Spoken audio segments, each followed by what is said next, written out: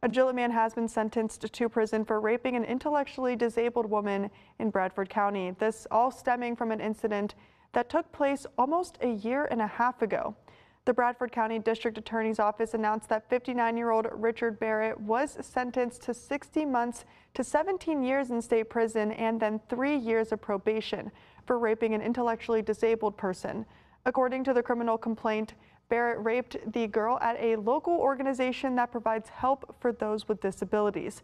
The complaint also says that victim told police that she had been raped three or four times before. Barrett admitted to having sex with her previously, but said it was all consensual. On top of that, spending on top of spending time in jail, Barrett will also now be registered as a sex offender and will have to pay over $300 in restitution.